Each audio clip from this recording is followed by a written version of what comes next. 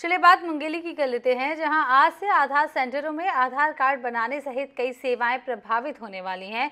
GPS all India Aadhaar operator union अपनी 14 सूत्रीय मांगों को लेकर आज से अनिश्चितकालीन हड़ताल पर रहेंगे। मुंगेली में भी इसका असर देखने को मिलेगा।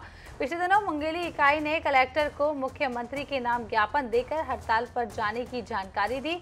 बता दें यूआई डीएआई भारतीय विशिष्ट पहचान पत्र के द्वारा डी डीओई एक और डी डीओई दो रिजेक्शन के चलते आधार ऑपरेटर को एक साल में पाँच साल के लिए आईडी बंद किया जा रहा है। आपको बता दें कि जिला अध्यक्ष सद्दाम साहिल हुसैन ने कहा है कि जब यू आई को भारत में आधार कार्ड बनवाने की ज़रूरत थी तो ऑपरेटर बनवाकर काम करवाया, अब काम से निकाल लिए जाने पर ऑपरेटरों को आवश्यक रूप से निलंबित किया जा रहा है। आधार यूनियन द्वारा हड़ताल में जाने से आधार सहित कई सेवाएँ भी प्रभावित हो जाएँगी, जिसका खामियाजा आमजनों को भुगतना पड़ सकता है।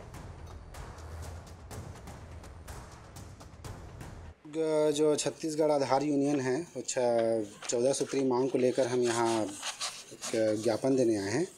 जिसमें प्रमुख मांग हमारा ये है कि जो इन हाउस मॉडल लागू किया जा रहा है, उसमें पूरा जो आधार ऑपरेटर हैं, वो लोग का रोज़गार, छीनने का बेरोज़गार होने का डर है। इसलिए हम ज्ञापन देने आए हैं यहाँ पर।